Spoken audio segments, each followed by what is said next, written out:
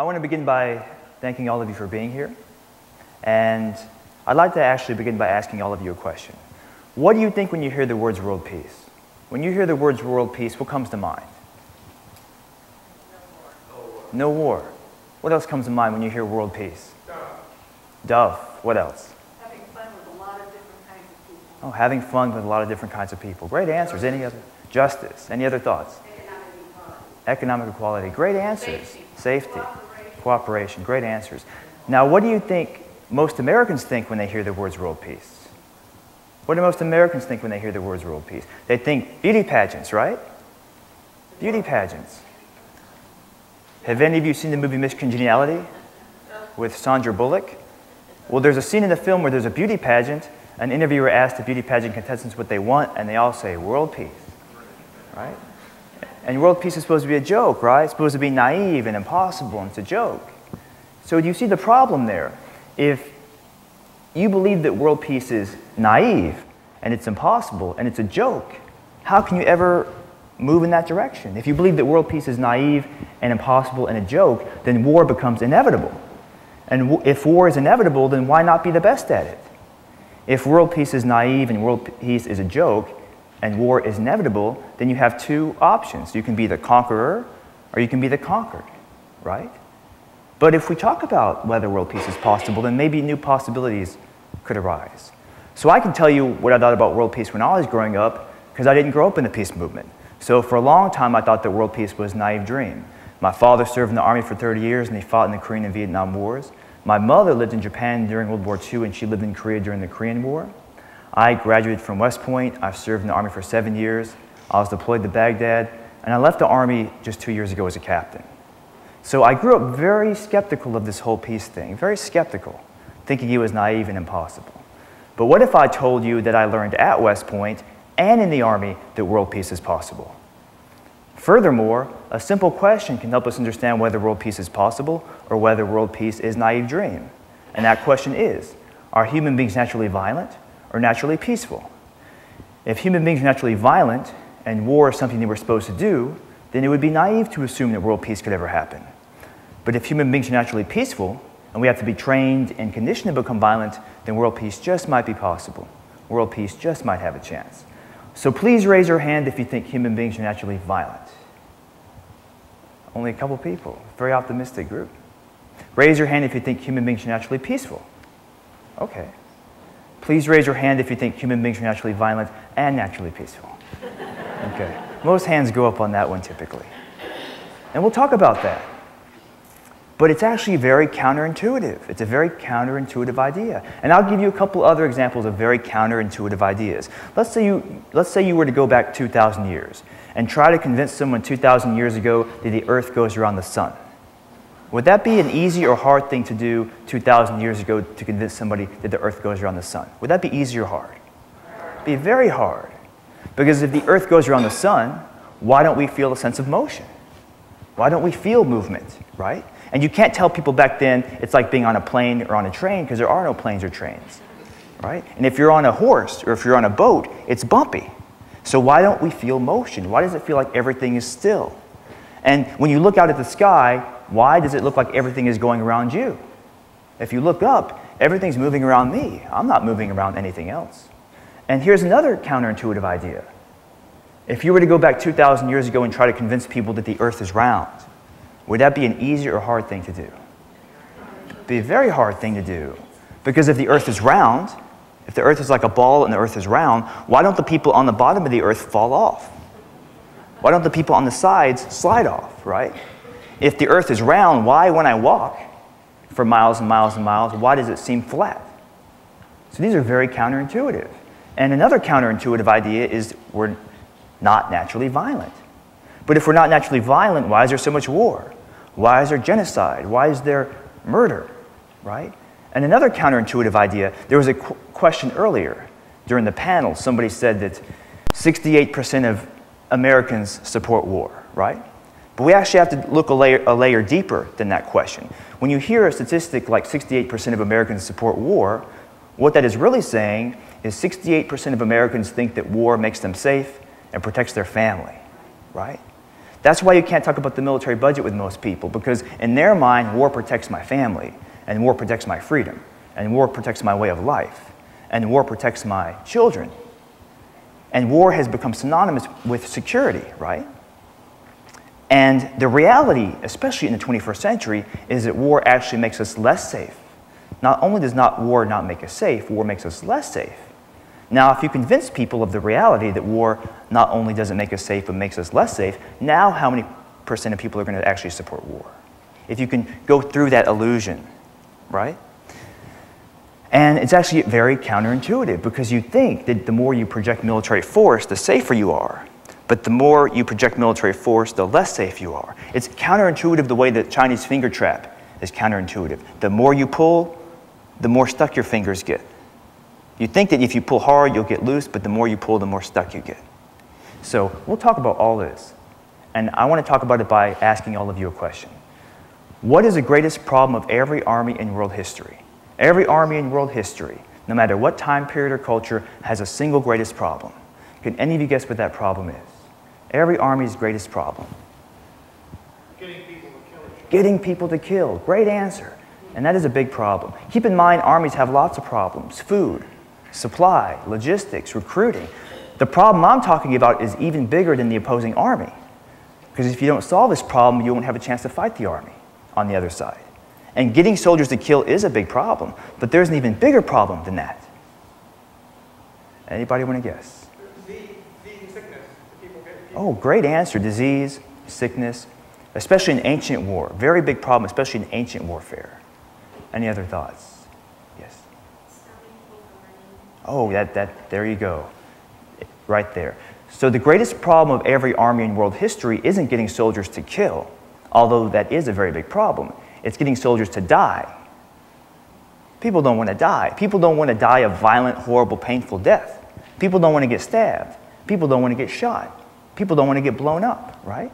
If you look at combat, in combat, our flight response is far more powerful than our fight response.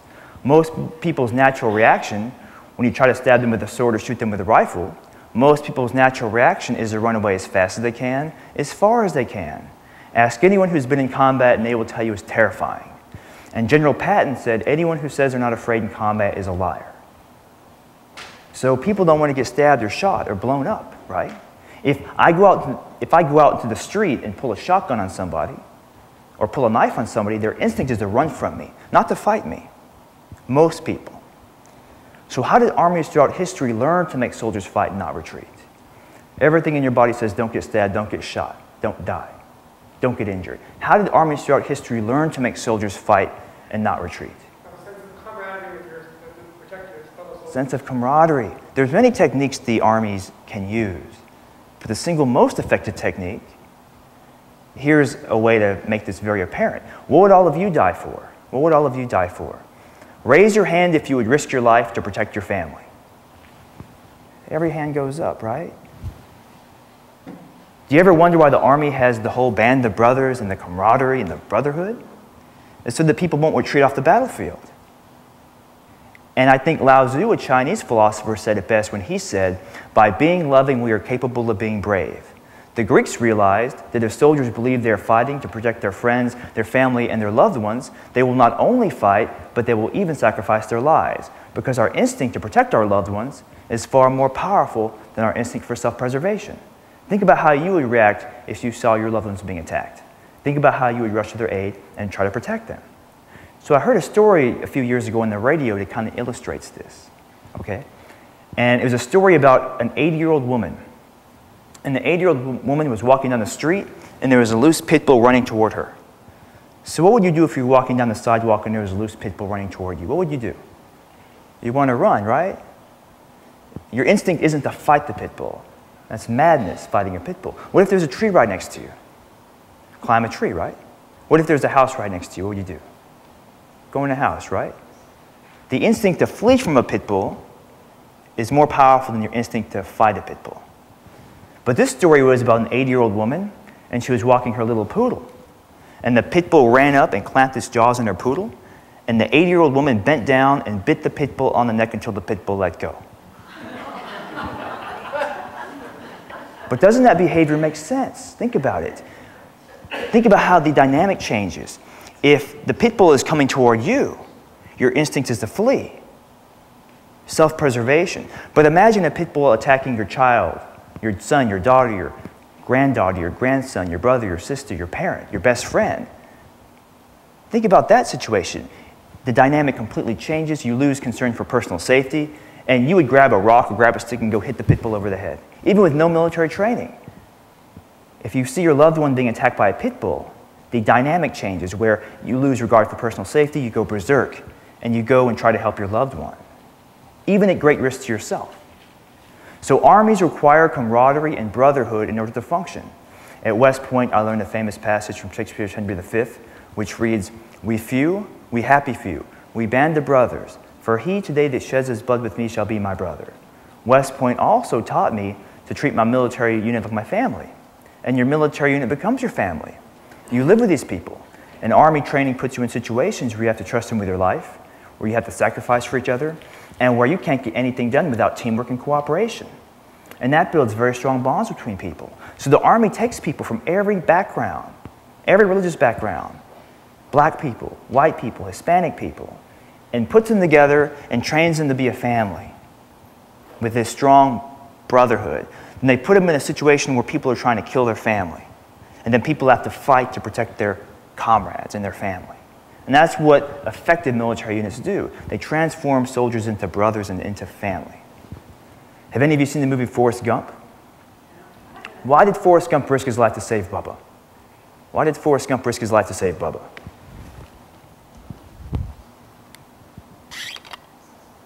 They are best friends, right? They are best friends. So armies make soldiers love each other and then they will die for each other. So do you see how that bond is very effective? So lo- love of comrades is one psychological technique that the Greeks used to make soldiers fight and not retreat. Another psychological technique that the Greeks used was love of country. Love of country. Have any of you heard of the Battle of Thermopylae? Raise your hand if you've heard of the Battle of Thermopylae. Okay. Raise your hand if you've heard of the movie 300. Okay. When I ask students that question, everyone's heard of 300. The same battle, but 300 is not that realistic. But during the Persian War, the decisive battle was not the Battle of Thermopylae, where the Spartans were defending a pass against the Persians. The decisive battle was the Battle of Salamis, where the Athenian general Themistocles had to defeat a very large Persian navy with a very small Greek navy. So imagine how frightening it is to have one person trying to kill you. Now imagine being outnumbered 3 to 1, 4 to 1, 5 to 1. So the Athenians were greatly outnumbered. And to inspire the courage that made their victory possible, the Athenians shouted the following battle cry Advance, ye sons of Greece, from oppression save your wives, save your children, save your country. This day the common cause of all demands your valor. Most people will die to protect their loved ones. I think many of you would die to protect your loved ones. So when the Athenians heard that, advance ye sons of Greece from oppression, save your wives, save your children, save your country, this day the common cause of all demands your valor, they were ready to fight to the death. And I think that battle cry has been used by every government since then. Not word for word, but the essence of that battle cry. Because whenever a government wants to make a population go to war, they have to say that we're fighting to protect our freedom, or we're fighting to protect our way of life, or we're fighting to protect our friends, our family, and our loved ones. How many wars have there been in human history? How many wars have there been in human history? Too many to count, right? Maybe thousands. But do you know in all of world history, all of military history, there has never been a single war where a national leader told his people they're fighting for money or gold or oil? Every war in history is about what? Two things self defense and liberating people. Even Hitler claimed self defense right? But if we were naturally violent, why couldn't the national leaders just say, look, you all are naturally violent. I'm going to pay you to go kill people who are just like you? Nobody would fight. So imagine you're a poor Roman farmer. Imagine you're a poor Roman farmer, and the Roman emperor says to you, he says, look, I want you to go to war. And the worst case scenario for you is you die, and your wife becomes a widow, and your children become orphans. And the best case scenario for you is you come back to your farm. He's going to say, Are you crazy? Why am I, why am I going to go do that? But what if the Roman emperor tells a farmer, Look, if you don't go to war, these evil people in this faraway land they're going to come kill your family and take away your farm? and take away your freedom and take away your way of life, then he's going to fight ferociously to protect his country, his people, his family, his way of life. But think about that. If human beings are naturally violent, why would the greatest problem of every army in world history be when a battle begins, how do you stop soldiers from running away? And why would governments have to manipulate our love in order to make us go to war? So, another question, another question. What does war do to the human mind? What does prolonged exposure to war do to the human brain? What does war do to the human mind? Makes it numb. What else? What else does war do to the human mind? Traumatizes it. Traumatizes the brain, right? Have all of you heard the saying, war is hell? Even the people who support war will say that war is hell. War is one of the most traumatizing things a human being can go through. War drives people insane. So, if human, if human beings are naturally violent, why would war traumatize so many people? If human beings are naturally violent, why would war drive so many people insane? There was a study done by Swank and Marchand. They were two medical doctors in World War II. One was at D Day. And they did a study right after World War II that found that after 60 days of sustained day and night combat, 98% of soldiers become psychiatric casualties. After 60 days of sustained day and night combat, 98% of soldiers suffer psychiatric trauma. And keep in mind that 60 days of sustained day and night combat is a 20th century phenomenon. Because prior to World War I, soldiers typically took the nights off. I mean, how long was the Battle of Gettysburg? A few days, right? And prior to World War I, a battle might last one, two, three, four, five days. But in World War I and onward, you had situations where soldiers were trapped in combat, trapped in combat, couldn't get out for long periods of time, day and night, bombardment, attack, threat of death, constant. And they found that after 60 days of sustained day and night combat, 98% of soldiers became psychiatric casualties. But 2% of soldiers could be exposed to war for long periods of time and kill and kill and kill and never go insane. So, why is that 2% different? Why can 2% of soldiers be exposed to war for long periods of time and never go insane? And why can the other 98% not do that? What's different about that 2%? The reason why 2% of soldiers are never driven insane by war is because they were already insane before they went to war. in, the study, in the study, they found that that 2% is composed primarily of aggressive psychopaths. Aggressive psychopaths. They're having a good time. But fortunately for us, they're the 2%, not the 98%.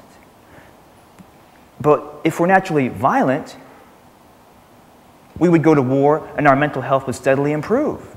You go to war, and the longer you're in war, the more your mental health improves. And if you're away from war for too long, then you start going insane. If we are naturally violent, if that was such a yearning desire of human nature to kill other human beings. And think about the military. Think about why the military rotates people in and out of combat. They do a year deployed, they come back, go back, back and forth. Because the army found that if you leave people there year after year after year, their minds start to fall apart. That's why we don't leave people there indefinitely. That's why we have combat rotations. And we let people go back on leave during the combat tour to compensate for that. And there's a really good book called On Combat, written by Lieutenant Colonel Dave Grossman.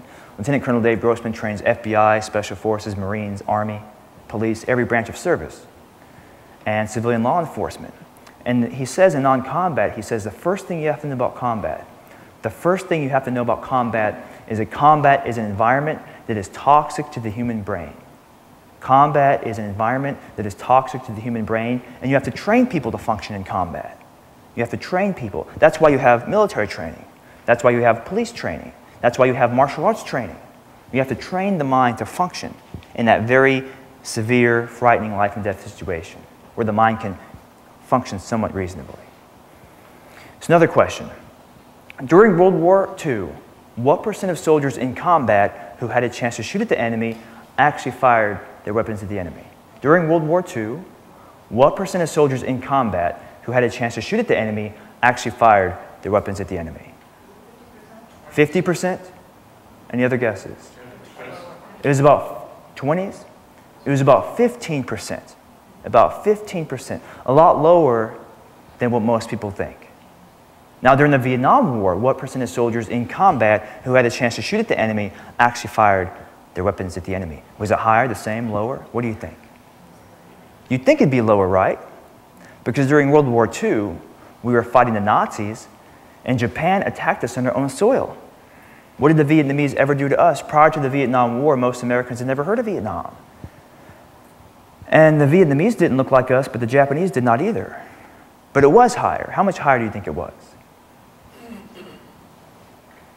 How much higher? Anybody want to guess? 80. It was about 90%. About 90%. That's a drastic change in a short amount of time, right?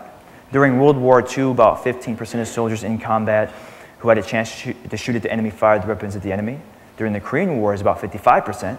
During the Vietnam War, it was about 90%. Today, it's nearly 100%. So, what happened? What happened to cause that drastic change in such a short amount of time? How come it went from 15% to 90% in such a short amount of time? Just a few decades. Training. Training. The training change, exactly. The key term is training. And what happened was the Army got better at training people how to kill. The key term is training people how to kill. Killing is not nearly as easy as Hollywood makes us think. Most people have a very difficult time killing another human being, and armies must expend enormous effort in order to train people how to kill. And this problem goes back way before World War II. During the Civil War, soldiers spent 95% of their time loading their rifles and 5% of their time aiming and firing their rifles. So you would think that if thousands of rifles had been recovered from soldiers killed in combat during the Civil War, then most of them would not be loaded. But after the Battle of Gettysburg, they recovered about 27,000 rifles. 24,000 of the rifles, 90%, were loaded. 12,000 of the rifles had more than one bullet loaded in the barrel. 6,000 of the rifles had 3 to 10 bullets loaded in the barrel. And one of the rifles had 23 bullets loaded in the barrel. So do you see what was happening? Soldiers were loading their rifles over and over again, so it would look like they were doing something, but they weren't firing. So, what is it about military training people such effective killers? What is it about military training? There's many different training techniques the military uses, but which specific technique is so extremely effective? Dehumanizing. Dehumanizing? Anybody else want to guess? Behavioral training. Behavioral training? We'll talk about dehumanization next. The whole next topic is dehumanization. Behavioral training is very close. It's actually something called reflex training. Reflex training. Any of you ever heard of reflex training before? Reflex training. Repetition. So I'll explain to you how reflex training works. I'll explain how it actually works. Let's say I go out into the street and I try to punch some random person, and the person has no martial arts or boxing training at all. What are 99% of people going to do? if you try to punch them in the face. They're going to flinch, right? They're going to close their eyes, flinch, protect their face. Close their eyes, flinch, protect their face. That's a natural reaction, your natural instinct, and it's a very smart reaction because your face is very vulnerable. Your eyes are very vulnerable. Flinch, close your eyes, protect your face. That is the natural reaction, right? Now, let's say that every day I hit a punching bag for three hours. Every day I hit a punching bag for three hours. And I do that every day for a year. Every day, hit a punching bag for three hours, do that every day for a year. Now, what will I do if someone tries to hit me? I'm not going to hit him back, I'm going to flinch. Because the punching bag doesn't hit me back. Right? The punching bag never tries to hit me back. I can hit a lot harder. I can punch a lot harder. But my reflex is still the old instinct, which is flinch, because the punching bag never hits me back. Now, rather than hitting a punching bag for three hours a day every day, what if every day for three hours I have a martial arts training partner? And I have the martial arts training partner simulate punching me. And every time he simulates punching me, I evade and I counterattack. He simulates punching me, I evade and I counterattack over and over again. Three hours a day, every day for a year. And then we do sparring, where we actually punch and kick, we have pads on, realistic training. Now, what will I do if someone tries to hit me? Now I'm going to hit him back. I'm going to evade and counterattack because it, has become a reflex. It has become a conditioned automatic response. And here's a story that tells you how powerful the reflex training can actually be. Here's a story to tell you how powerful it actually is. In that book on combat, there's a story about two police officers. And one of the police officers, he wanted to train how to disarm a gunman. How do you disarm a gunman? So he would have, he would have his training partner pull out a gun and he would disarm it, give it back to him. His training partner would pull out the gun again, disarm it, give it back to him. Training partner pull out the gun again, over and over and over again. Constant repetition. So finally, they went to a convenience store one day, and there was a robber at the convenience store. And the robber pulled the gun on the police officer, and without thinking, the police officer disarmed the gun, gave it right back to him. without thinking. So the reflex training is so powerful. You can train people to do things that will get them killed. That's why the Army has a saying train like you fight, train like you fight. Because whatever you train people to do in that training situation, when you're in that severe life and death situation, your brain can't think. You're in a severe life and death situation, your brain can't think, and you're going to go back to your training. So you, the reflex training is so powerful, you can train people to do things that, that will actually get them killed. But think about that. And if you think about World War II, for example, World War II, they were firing at round paper targets, firing at round paper targets. But there's never been a war where people have been attacked by round paper targets. So you look at the Vietnam War training. You have a target shaped like a human being, the target pops up, you shoot it, it goes down. Target shaped like a human being, pops up, you shoot it, goes down. You do that over and over again, and now you have the reflex. You see an object shaped like a human being pop up in the distance, you shoot it. Just automatic response. And if you ever wonder why soldiers are killing civilians in the Middle East and Afghanistan and Iraq, you have to look at their training. So look at police officer training. Police officer training, when you go to a pistol range, they teach you to distinguish between an armed combatant and an unarmed threat. So a target pops up, it's a guy with a shotgun, you shoot it. A woman pops up holding a baby, you don't shoot. Guy pops up holding a pistol, you shoot. Guy pops up, no weapons, you don't shoot. And to qualify, you have to be able to distinguish. But the Army is still using that old Vietnam training. And they're doing a police operation. And when you're in that severe life and death situation, you just go back to your training, you see something shaped remotely like a human being, you fire. And compare that with police officer training, you see a big difference. So, another question Have any of you read a book called On Combat? Written by Lieutenant Colonel Dave Grossman. On, uh, pardon, On Killing. Same guy who wrote On Combat. On Killing, written by Lieutenant Colonel Dave Grossman. It's a, nobody's here has read that book. That book should be required reading for peace studies. You can learn so much about peace from that book. It's a book all about killing. It's a book all about killing human beings. And it's one of the most uplifting books you will ever read because it shows that killing is a learned behavior. Lieutenant Colonel Dave Grossman was a West Point psychology professor and Army Ranger, and he wrote a book called On Killing the Psychological Cost of Learning to Kill in War and Society. I'll, read, I'll say the subtitle one more time The Psychological Cost of Learning to Kill in War and Society. He was, that book is required reading in classes at West Point, it's required reading at the FBI, FBI Academy, and it's on the Marine Corps Commandant's required reading list. On Killing is also required reading in peace studies programs at Berkeley and in Quaker and Mennonite colleges. So people in the military love this book. People in the peace movement love this book. It's a very important book, and I highly recommend that you read it. But, uh, but in On Killing, Lieutenant Colonel Dave Grossman says that in order to wage war, a country must portray the enemy in a certain way. And every country in history must do this and has done this with no exceptions. Can any of you guess what that way is? How must a country portray an opposing group of people in order to wage war against them? Less than human. You must dehumanize them, right? You must take away their humanity. How many wars have there been in human history again? Thousands? Too many to count? Do you know in all of world history, all of military history, there has never been a single war, not one war, that has not involved dehumanization? Out of all the wars, not one war where both sides saw the other side as human. Right? And he says other animal species have a natural aversion to killing their own species as well. For example, a rattlesnake. A rattlesnake will bite every other animal with its lethal fangs. But when rattlesnakes fight each other, what do they do? They wrestle. They don't bite each other. When king cobra fight other animals, they bite them. And king cobra actually eat other snakes. But when king cobra fight king cobra, what do they do? They wrestle. They don't bite each other. Look at buffalo, look at bulls, look at animals with horns, deer. When they fight other animals, they try to gore the animal from the side, They try to attack the flank, they try to attack the flank or the abdomen. So, for example, an African buffalo, when it fights a lion, it'll try to attack the animal from the side. But when African buffalo fight each other, they fight head to head, the least lethal form of combat. If you look at hyena, leopards, lions, wolves, bears, most predators, when they fight other animal species, they tend to go for strangulation bites and abdominal bites. When they fight their own species, they tend not to go for strangulation and abdominal bites. If you want to kill an animal, you bite the abdomen or you bite the neck. But if you look at a dog or a wolf, when a dog or wolf shows submission, they roll over on their back and they show their belly. And the other animal instinctively knows not to attack it.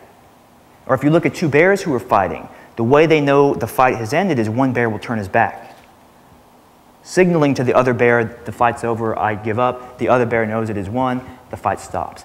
Now, why is that? Why do African buffalo attack lion by trying to gut the animal from the side? And why, when African buffalo fight each other, why do they fight head to head, the least lethal form of combat? Why is that? Preservation of the species, exactly. Preservation of the species. African buffalo spend 99% of their time around what animal? African buffalo. If they fought each other the way they fought lion, they'd all go extinct. And human beings spend most of their time around what animal? Human beings. So doesn't it make sense that we might have this natural aversion to killing our own species? Doesn't it make sense that we might have some sort of natural aversion? And that killing might be a learned behavior? But what evidence do we have? What evidence do we have? The evidence we have is all military history. All the military history supports this. Remember what I just said. Every war in history has required dehumanization. If we didn't have a natural aversion to killing other human beings, why would every war in history require dehumanization? Why would national leaders tell people, look, these people are just like you, and you're going to go make widows and orphans out of people who are just like you? And this is done, this dehumanization process is done through what Lieutenant Colonel Dave Grossman calls distance. And he talks about three kinds of distance. Three kinds of distance. The first form of distance is psychological distance. Psychological distance means portraying people as subhuman. And this is often done through derogatory name calling.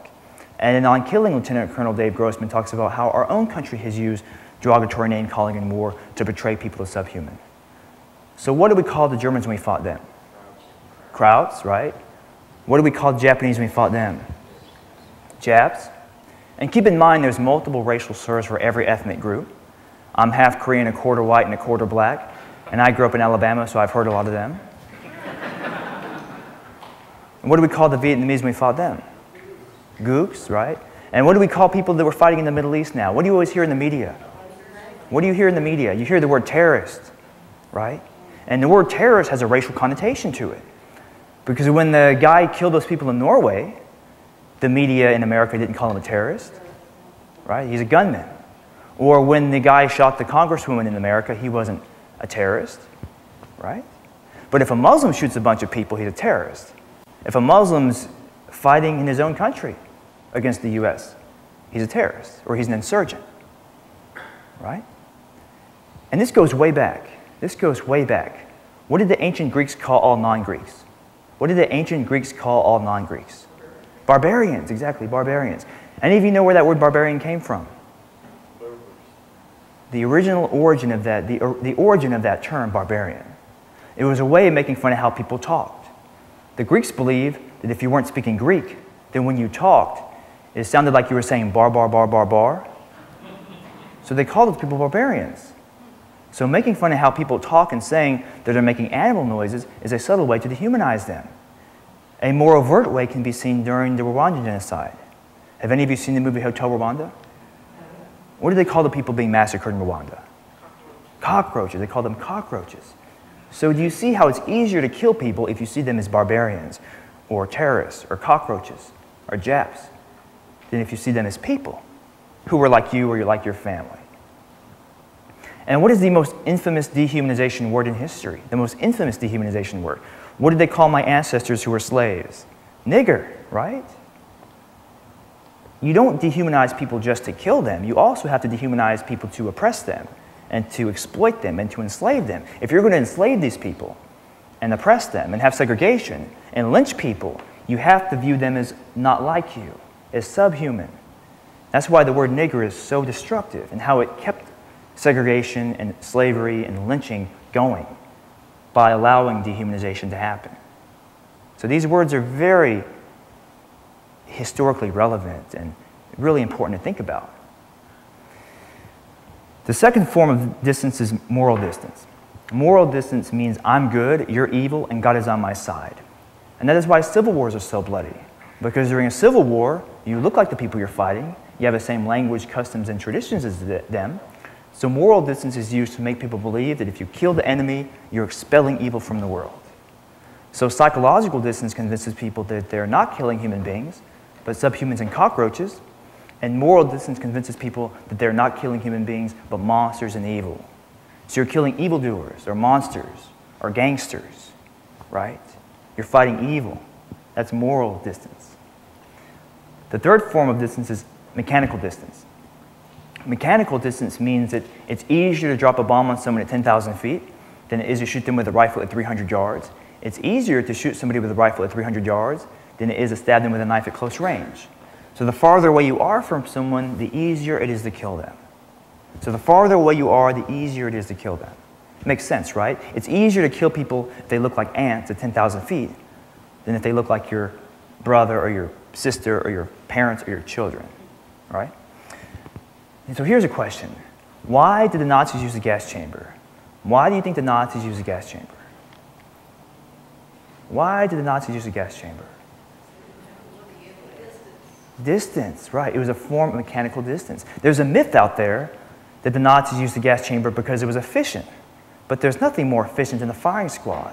What's more efficient than lining people up, making them dig a ditch that will become their grave, making them stand in their grave, shooting them with inexpensive bullets, and throwing dirt on top of them? The Nazis killed nearly a million people with firing squads, primarily with firing squads. But they switched to the gas chamber because so many Nazi soldiers were becoming traumatized from killing women and children. So imagine you're a Nazi soldier, and for 10 hours a day, every day, you're killing women and children. A lot of people's minds can't handle it. You have that small percentage that can do it, that 2% that can do it. But the other majority has a hard time. And there's all these accounts of Nazi commanders petitioning Heinrich Himmler, telling him, we have to change the method of execution to protect the executioner. So it's all about protecting the executioner. When people are being executed, whether it's firing squad or hanging or electric chair, why are their faces almost always covered?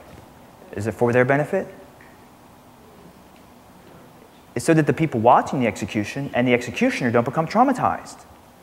When gangsters execute people, when gangsters execute people, where do they almost always shoot them? Back of the head.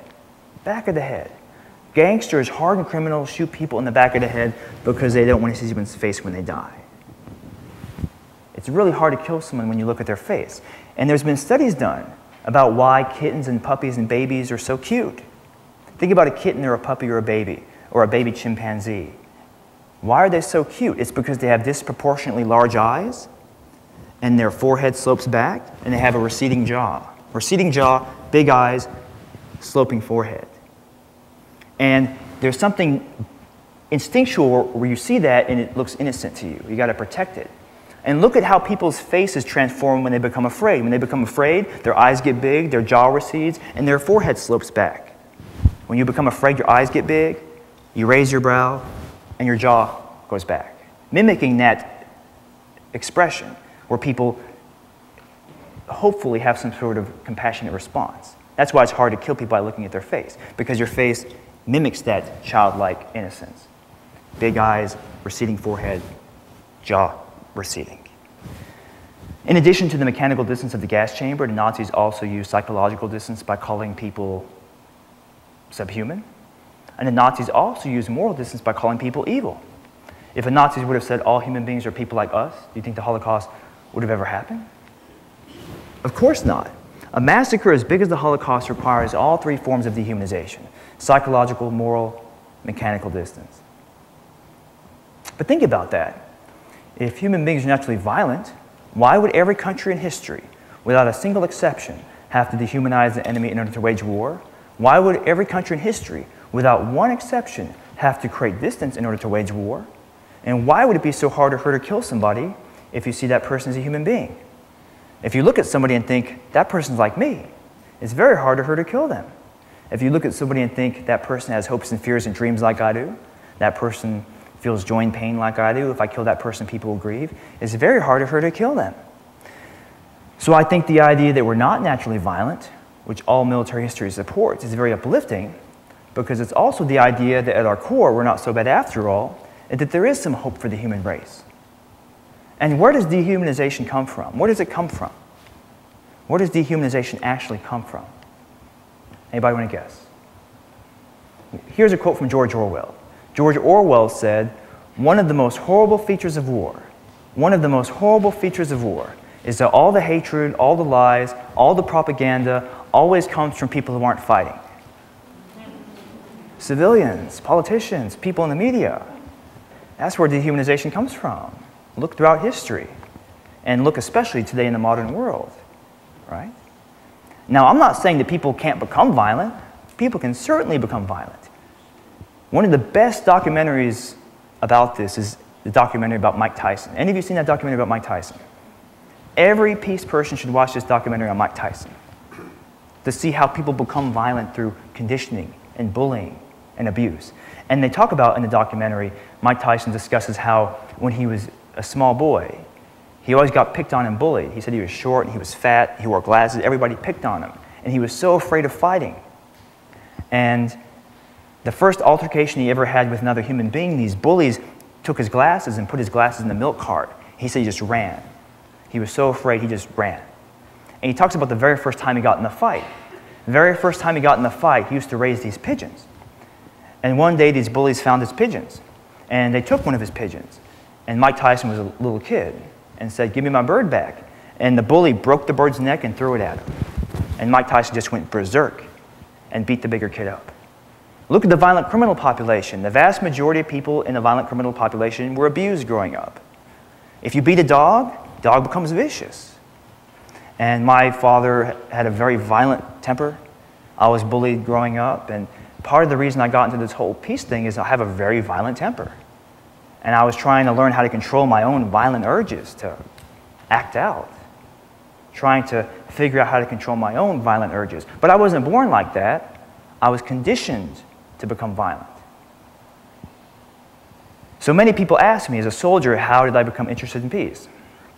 As a young child, I had witnessed how war had traumatized my father, and growing up living with him was very frightening due to his violent behavior. So when I was very young, I began thinking about the problem of war and why war has to end. But then many people asked me, if I wanted war to end, why did I join the army? Well, I think I joined the army for the same reason many people join the army. Because in our society, we're taught that we need war to end war, and we need violence to stop violence. Think about Spider Man or Superman or Batman. How did Spider Man, Superman, and Batman save the world and protect humanity? What did they do? They punched people in the face, right? They beat people up. In the action movies I saw as a child, the hero would kill the bad guy, save the world, kiss the girl, and all would be well. So we're taught if you want to stop war, you have to wage war. If you want to stop violence, you have to commit violence. You have to make the world more peaceful through violent methods. So most soldiers want peace, and here's some evidence. During World War II, when we were fighting the Nazis and we were attacked by Japan, recruitment into the military is very high. During the Vietnam War, when soldiers weren't sure why they were fighting, it was much more difficult to get people into the military. And if you look at accounts of Vietnam veterans, many of them say they were fighting to protect their comrades and to bring their brothers home and to fight to protect the person to their left and to their right. But after September 11th, when we were attacked, an American politician said that we need to use military force to make the world safer and spread freedom and democracy around the globe, again, recruitment went up.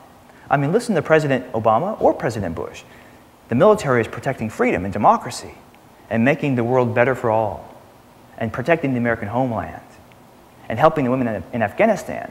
When you have that kind of idealism, people want to join the military.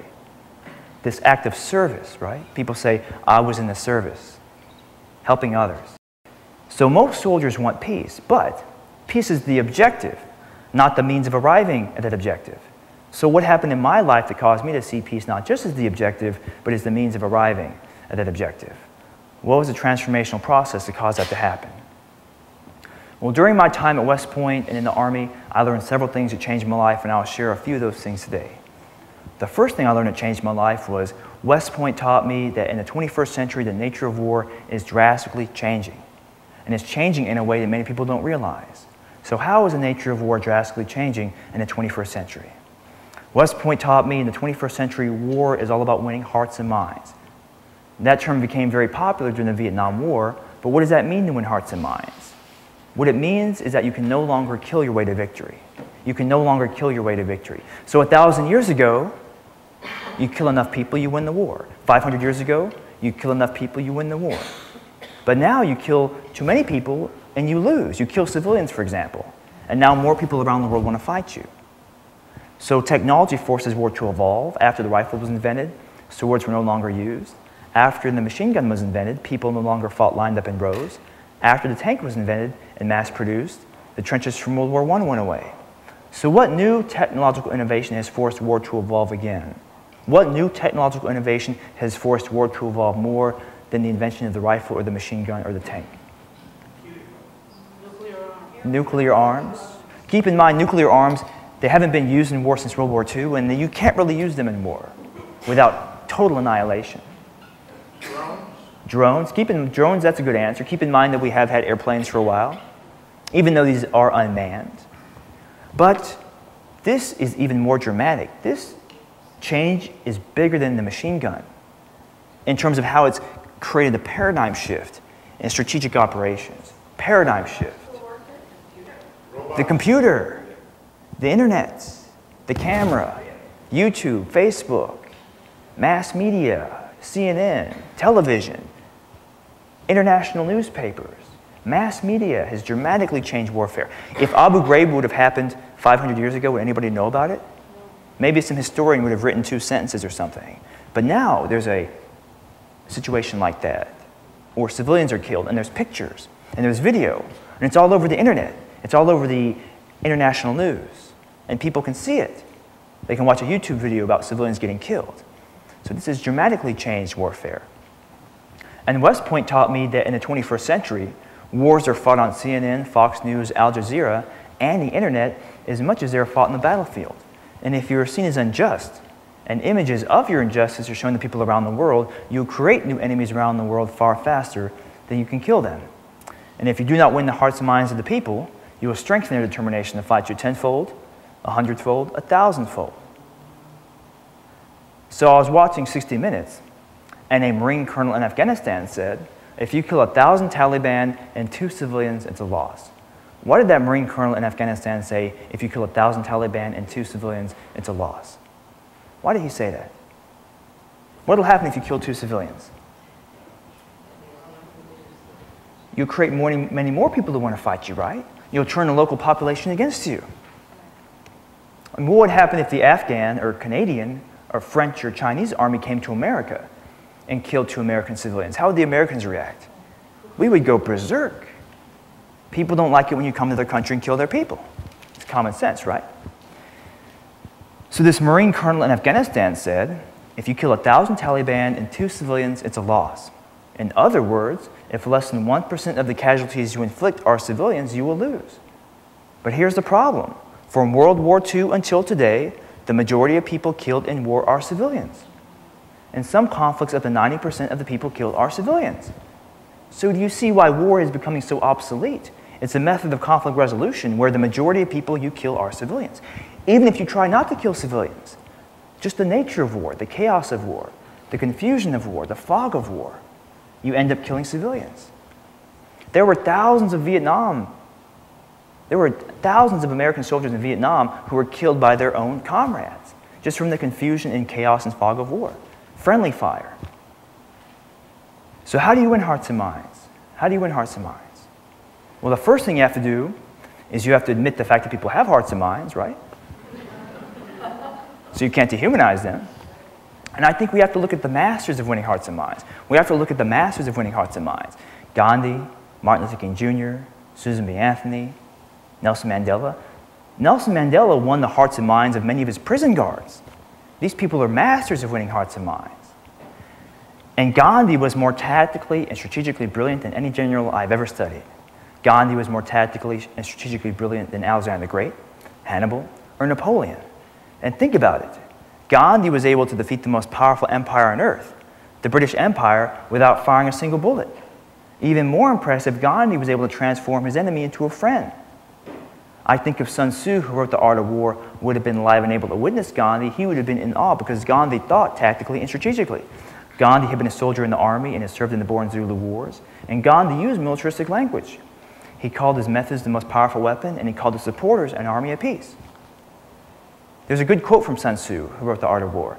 He said, Winning a hundred victories and a hundred battles is not the pinnacle of excellence. Defeating your opponent without bloodshed is the pinnacle of excellence. Second thing I learned that changed my life is this idea of waging peace. Waging peace. Waging peace. What does that term mean, waging peace? What does that mean, waging peace? What does it sound like? It's active. It's, an, it's active. It's active. It's not passive. It's active. It's an action. Peace is an action. Peace isn't being quiet. Peace isn't being alone in the room. It's not being on the beach. It's an action. It's a verb. Waging peace, it's an action. So, what are examples of waging peace in history? What are examples throughout history of waging peace? Martin Luther King Jr., Civil Rights Movement, great example. What are other examples? Mrs. Strawman, Pardon? the women, The women, exactly. Alice Paul, Susan B. Anthony, women's rights movement. What are other examples? Pardon? Germany, reunification. Reunification of Germany, exactly. There's many different examples. Howard Zinn said between war and apathy, there are a thousand possibilities. A thousand things you can do between bombing people and doing nothing. Mother Teresa, Albert Schweitzer, Gandhi, women's rights movement, civil rights movement, Nelson Mandela, Archbishop Desmond Tutu. What all of you are doing, right? Many different ways to wage peace. Diplomacy can even be a form of waging peace. And our lives have been dramatically impacted by waging peace. Our lives have dramatically been impacted by, especially that grassroots form of waging peace. Let's talk about a couple of misconceptions. What did our founding fathers talk about? What did our founding fathers talk about? No taxation without representation. What does that mean, no taxation without representation? What does that mean? Anybody remember from elementary school history? It means you can't tax me unless you give me a vote. You can't tell me what to do unless you give me some sort of participation in the democratic process. You can't tax me or control me unless you give me some sort of say. That's a reasonable grievance, right? But up until the 1820s and 1830s, 50 years after the Revolutionary War, less than 10% of the American population could vote. Women couldn't vote, African Americans couldn't vote, Native Americans couldn't vote, white people couldn't vote in most places unless they owned land. So 200 years ago in America, women couldn't vote their own property. Did the, did the women fight a war to get that right? Did they fight a war using violence as the means to get that right? They waged peace, right? They used nonviolent struggle, nonviolent struggle to get that right. Did the non-landowners fight a war to get the right to vote? Did people fight a war to get child labor laws? Did people fight a violent war to get workers' rights? How many, how many European countries had a war to free the slaves? How many European countries had a war to free the slaves? Zero. Zero. But look at America. The Civil War in America helped keep the Union together, but it took a peaceful movement during the Civil Rights era before African Americans truly got their human rights. The people in the North did not win hearts and minds in the South by attacking them and change attitudes about slavery and black people being equal. It took a peaceful movement, the Civil Rights Movement, to truly win hearts and minds in the South. So our lives have been dramatically impacted by waging peace, and it shows how distorted our history is, right? If you look at people who waged peace, Susan B. Anthony, Mark Twain, Woody Guthrie, Martin Luther King Jr., these people are as American as apple pie. It's a very proud part of our American heritage, a very patriotic act if you look at Mark Twain, uh, Woody Guthrie, Susan B. Anthony, Martin Luther King Jr., uh, Frederick Douglass, right? Henry David Thoreau. So, another thing that I learned that changed my life, the third thing I learned that changed my life, and this might sound surprising, is that there are far more similarities between waging war and waging peace than differences. And many of the skills you need for waging war, you also need for waging peace. That might sound counterintuitive, but think about all the things you need for waging war that you also need for waging peace. Whether you're waging war or waging peace, you need training, organization, planning, recruiting. What else do you need for waging war and waging peace? What else do they have in common? Leadership. leadership. You need leadership for both. What else do they have in common? Strategy, mission, purpose. Whether you're waging war or waging peace, you need to win hearts and minds. We were trying to win hearts and minds in Vietnam. Martin Luther King Jr. was trying to win hearts and minds in America. Who did a better job than Martin Luther King Jr.? Whether you're waging war or waging peace, you need leadership, courage, discipline, selflessness, sacrifice, camaraderie, solidarity, teamwork, cooperation. You can see all of these things in the civil rights movement, and you can see all of these things in the military unit. But there are two crucial differences between waging war and waging peace. Two crucial differences. What's different about waging war and waging peace? What's different about the, both of them? Violence. Violence is the means, right. Violence is the means. When waging war, you're trying to transform a human being into a corpse. When waging peace, you're trying to transform a human being into a friend. That's a big difference, right? But there's another crucial difference between waging war and waging peace. There's another crucial difference, fundamental difference. I think Sun Tzu, who wrote The Art of War, said it best when he said, All war is based on deception. When you're near, you want your enemy to think you're far. When you're far, you want your enemy to think you're near. When you're about to attack, you want your enemy to think you're unable to attack. When you're unable to attack, you want your enemy to think you're about to attack. When you're active, you want your enemy to think you're inactive. When you're inactive, you want your enemy to, to think you're active. A long time ago, I used to box, and I learned that boxing is based on deception. You want to hit your opponent with your left hand, but you want your opponent to think you're going to hit him with your right hand. You want to hit your opponent with a left hook, but you want your opponent to think you're going to hit him with the right uppercut. Waging peace, on the other hand, is based on the truth. It involves exposing the truth about women's equality, racial equality, oppression, injustice, slavery, war. Gandhi never had any secret plans. Gandhi never had a top secret file. When Gandhi would conduct a demonstration, he would tell everybody what he's going to do, when he's going to do it. What did Gandhi do when he did his salt march to the sea? What did he do? He told the British, here's my plan, here's what I'm going to do, come arrest me if you want to. And later on in the question and answer session, if there's time for that, we can talk about very specific strategic reasons why that was so brilliant. So it's truth telling, right? Susan B. Anthony, Alice Paul saying, look, women are not intellectually inferior to men. If women are allowed to vote and own property, society will not collapse. African Americans are not subhuman. Africans are not born to be slaves. It's truth telling. War does not make us safe. Human beings aren't naturally violent. There's a better way to resolve conflict than through war. It's truth telling, not deception. So I consider myself pro military and anti war. And people have told me that doesn't, make, that doesn't make any sense. But it's like being pro fireman and anti forest fire. For example, Martin Luther King Jr. was very anti war. He was anti Vietnam War and anti all war. And if you heard me say this before, please don't give away the answer. Let people figure it out. People always get it eventually. But Martin Luther King Jr. was anti Vietnam War and anti all war. But did you know that one of the few television shows that Martin Luther King Jr. would let his children watch was a television show that glorified the military? A television show that he himself liked. A television show that portrays people in the military with exceptional noble qualities. Can any of you guess what the television show was? MASH is a good guess. MASH is a great guess. MASH, by the way, is the Dalai Lama's favorite television show. But the show I am talking about is the most famous television show ever made. More famous than Seinfeld, more famous than The Simpsons. When the Dalai Lama first came to America, all of his monks wanted to go see the set of this show. Here's a story to, you'll get it after I tell this story. So there was an actress in the show, female actress, and she was at a party.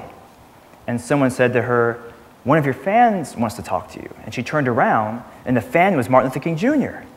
And he goes, I just want to tell you how much I love your show. My kids love your show. I just want to commend you on such a great, uh, great television series. And she said, she said, actually, I'm going to lead the show after the season. And he said, you can't do that. You can't lead that show. It's too important.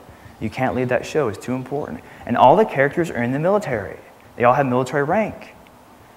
It's a black female actress. Star Trek. Star Trek. Remember, do you ever think about why it's Captain Kirk, Captain Picard? They have the military protocol, right? It's the Navy in the future. Star Trek is a show about the military. They use military rank, military protocol, and Starfleet Academy is based on West Point, even having the same rank insignia and honor code as West Point. But in the future, there's no war, poverty, or hunger on Earth. So the military's mission has changed from war to disaster relief, humanitarian aid, and exploration. And that's already happening to some extent in the world today. For example, the New Zealand Army is no longer focused on waging war. The New Zealand Army performs missions of peace, humanitarian aid, disaster relief, and it, and it protects whales from poachers. And think of what the U.S. Army could do if its mission changed from war to disaster relief. The U.S. Army is the only organization in the world that can deploy tens of thousands of physically fit, mentally tough, well trained people to any spot in the globe in a matter of days. Imagine U.S. soldiers being used for earthquake relief, tsunami relief, natural disaster relief, fighting famine, fighting hunger. Wouldn't that be a good way to win hearts and minds around the world? In 2009, U.S. military performed 154 humanitarian aid missions in 61 countries. So what's the problem? Why are people still angry at us? We're also killing people, right? The military right now is half Peace Corps, half killing machine. And people don't like it when you kill their people. Remember what that Marine colonel in Afghanistan said you killed 1,000 Taliban, two civilians. It's a loss. So imagine if around the world the U.S. had this reputation. Imagine if around the world the U.S. had this reputation. A natural disaster happens, the Americans come, they help, they leave. Leaving part's important. How would we feel if a foreign country put a military base in America? How would the Americans react? We would go berserk if someone tried to put a military base in our country, right? And if the purpose of the American military is to protect the American people, if that is its purpose, the best way to protect the American people is to help people around the world. And the military is already recognizing that. But it's still stuck in many ways in that 20th century mentality, and we have to keep moving into the 21st century. And with terrorism, you deal with it with law enforcement. Terrorism is a law enforcement problem. For example, Al Qaeda is more like the mafia than they are like the Soviet Union. They're a transnational criminal network. 15 of the 19 hijackers from Saudi Arabia. They plan the attacks from Germany. You can plan a terrorist attack from Alabama, San Francisco, anywhere. You can't defeat terrorism by occupying a country. But how did we catch the Unabomber, who was a terrorist? How did we catch Timothy McVeigh? How did we catch Jeffrey Dahmer and John Wayne Gacy? How did we catch those Nazis who fled from Europe after World War II? It's a police action. The military is not trained to go after a criminal network. So I met a guy from Pakistan after I gave a talk in Washington. I met a guy from Pakistan. He said, There's something I never understood until after I heard your talk. He said, The American people, he said, I always saw the American people as being the most wonderful, friendliest, most generous, optimistic people in the world. The Americans are so generous, so friendly, so kind, so optimistic, but their government is so terrible. He goes, I never understood this contradiction. How can the American people be so wonderful and generous and kind and optimistic? And how can their government support dictatorships and wage wars and overthrow democratic regimes? And he goes, I finally figured out the contradiction. He says, I finally figured out how the American people can be so wonderful and their politicians can be so terrible. He said, The American people don't know what their government's doing around the world. They don't know what their Amer- the politicians are doing, what they're really doing. Now, with soldiers like that, if their mission changed from war to disaster relief, with soldiers like that, I think 98% of them would. 2% might not. but here's a quote from General MacArthur. If you ever wonder whether soldiers would like that kind of mission, remember this quote from General MacArthur. General MacArthur said, The soldier above all other people prays for peace, for he must suffer and bear the deepest wounds and scars of war. The soldier above all other people prays for peace, for he must suffer and bear the deepest wounds and scars of war. So, this is a more effective security paradigm we're talking about here. More effective in terms of safety. And we could talk a lot more about this. It's a lot of nuance to it.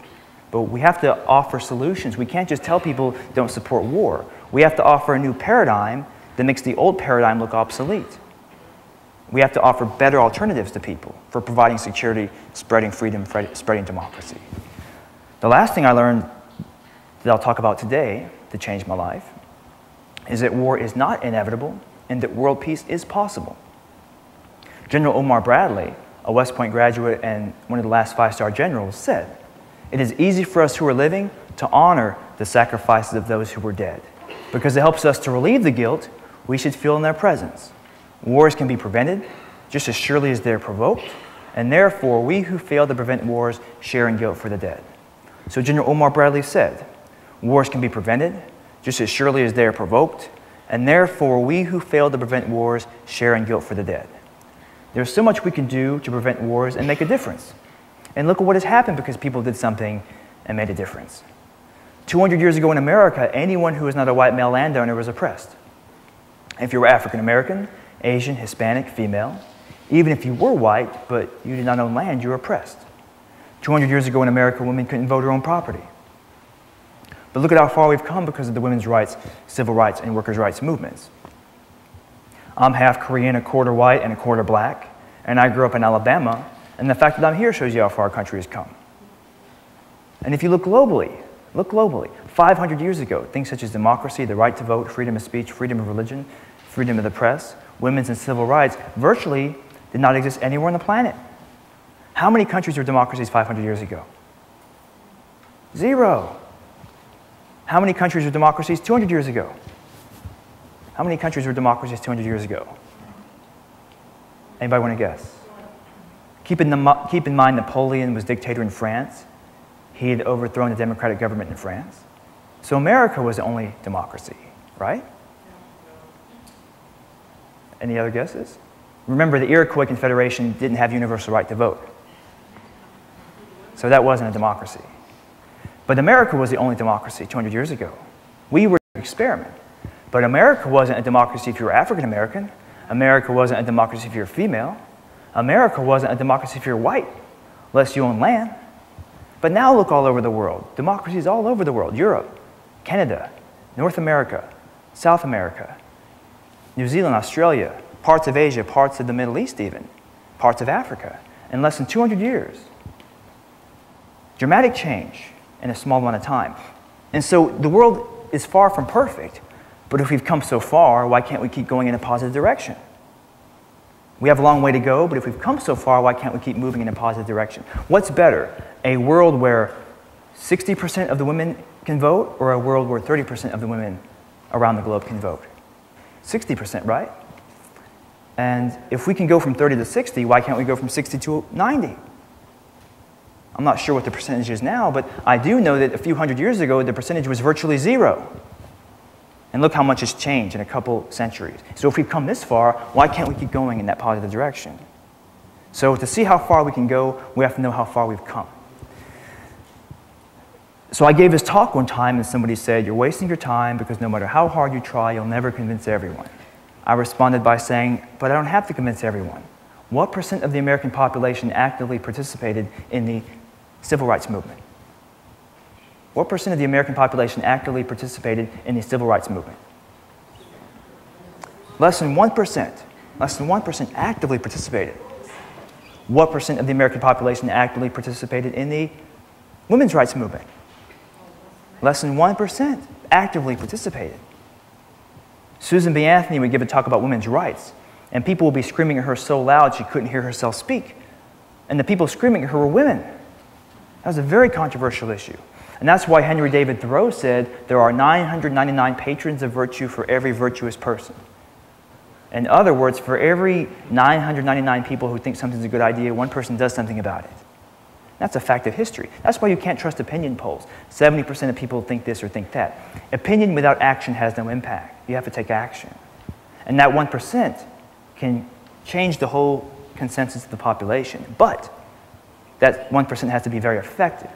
If we get 1% of Americans to struggle for peace, we won't automatically have world peace. We have to be very effective what we do, right? And you don't have to convince everybody. Was every single man in America convinced that women should have the right to vote? There's still men in America who don't think women should have the right to vote, right? But if a man tries to prevent a woman from voting, he'll get arrested. It's against the law. Was every single man, was every single white person in America convinced that segregation should be gone? There's still people in America who think segregation should come back, but it has become law. Where if someone tries to bring back segregation, they get in trouble with the law. So you change the attitude, and then it impacts the law. Now, if someone tries to prevent women from voting, or they try to bring back segregation, there is a law against it. So you have to change attitudes. And then eventually the law can also change as a result of that, after you've convinced enough people and won hearts and minds. So we have to be very effective, very effective. We have to have a very convincing message that resonates with the American people. And it's important not to dehumanize people in the Middle East, right? Very important. But I see many liberals and peace activists dehumanize conservatives. They're a bunch of morons. They're a bunch of idiots. They're a bunch of cavemen. People call the Tea Party tea baggers and tea tards, right? Same kind of dehumanization in a different form toward conservatives. If you're a Christian, you're a moron. You see liberals and peace activists echo this all the time. And keep in mind that people in power control people by dividing people. They want liberals to see conservatives as the enemy. They want peace activists to see people in the military as the enemy. Oh, if you're in the military, you're uh, some sort of barbarian. Some of the most peaceful people I've ever met are in the military. Some of the most aggressive people I've ever met are in the peace movement. The world is complicated. It's a complicated world. You can't just stereotype. So people in power control people by dividing them. And what is the Tea Party and the people who sympathize with the Tea Party upset about? They're upset about the economy, declining wages, jobs, the Wall Street bank, uh, bailout. And Noam Chomsky says that the existence of the Tea Party is a real failure of liberals and peace activists to reach out to conservatives. They're too busy calling these people stupid to try to reach out to them. And if you want to talk to a conservative about peace, you can talk about the Declaration of Independence. All men are created equal. We all have a right to life, liberty, the pursuit of happiness. You can talk about Jesus. Blessed are the peacemakers. I mean, who is more peaceful than Jesus? You can talk about Eisenhower, who is a Republican president and a West Point graduate in general who talked about the military industrial complex and compared military spending to crucifixion. You can talk about anti war generals like Smedley Butler. You can talk about Martin Luther King Jr. All sorts of common ground. And if we can't make peace with our own country, how can we possibly make peace with other countries? So maybe we can unify around certain American ideals, right? Maybe we can unify around our traditional American ideals if we have a approach that tries to not just preach to the choir, but tries to persuade people who don't agree with us. And today it's even more important that we become part of that 1%. Today it's even more important that we become highly trained in the art of waging peace and that we become part of that 1%. Gandhi and Martin Luther King Jr. waged peace in order to create a better world, but today we have to wage peace in order to ensure the survival of our world. Gandhi and Martin Luther King Jr. waged peace in order to create a brighter future, but today if we don't wage peace, we won't have a future. These are survival issues we're dealing with now, right? The world wasn't going to end if civil rights or women's rights wasn't achieved. But these are survival issues we're dealing with now nuclear weapons, war, environmental destruction. So it's really a race against time. So we have to be very effective. So it's up to us to solve these problems. Now more than ever, the world needs you to wage peace. And I hope that you will all become part of the 1%, not the 2%. Thank you.